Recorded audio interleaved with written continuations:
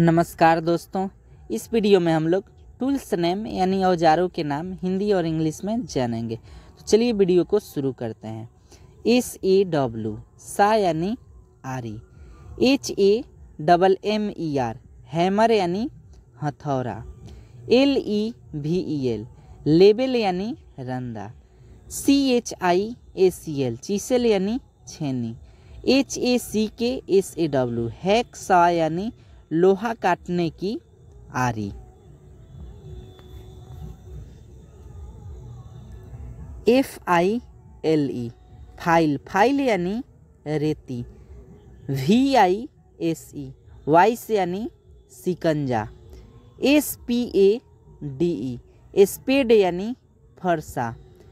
S C R A P E R scraper यानी खुरचनी। S C R E W D R I V E R screwdriver यानी पेंचकस तो video पसंद है तो वीडियो को लाइक कीजिए शेयर कीजिए, साथ में चैनल को सब्सक्राइब करना ना भूलिएगा।